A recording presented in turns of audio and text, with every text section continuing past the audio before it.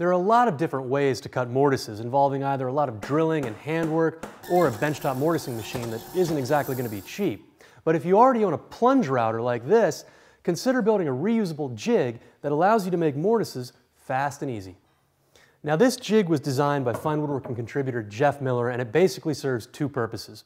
One, it holds your workpieces firmly in place, and two, this wide bearing surface gives your router's base a safe track to ride on. And by adding a long auxiliary fence to your router and mating it with this channel here and back, you're guaranteed straight cuts. This machine is not going to wander. Now these hold downs really secure your workpieces tightly. And then this T-track allows me to use repositionable stop blocks to help define the start and stop point of my mortise. Now let's take a moment to deconstruct this jig and show you how it's built.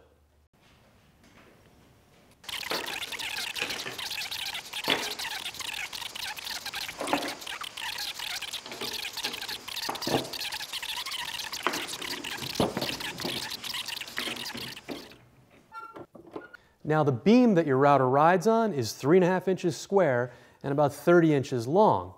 And I actually laminated two pieces of hard maple together for added stability. To build the channel that our router guide's auxiliary fence rides in, I milled up three pieces of stock, all to three quarter inch thick. The rear piece is two and a half inches tall. This small filler strip is an inch and five eighths tall.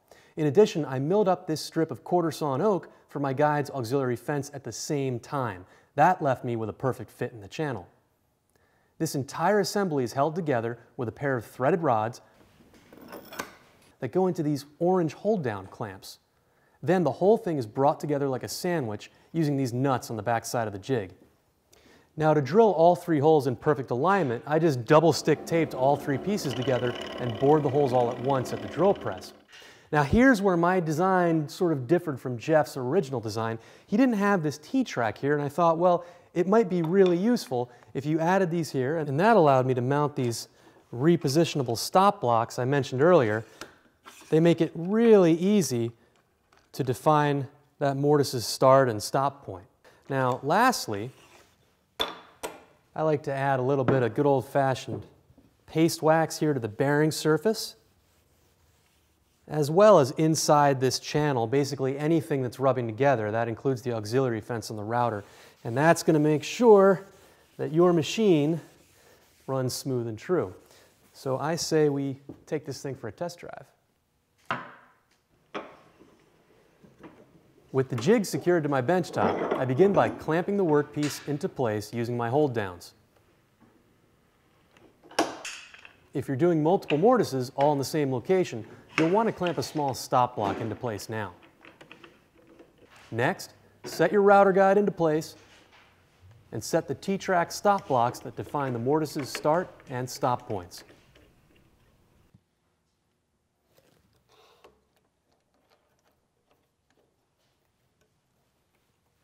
Now the rest is easy.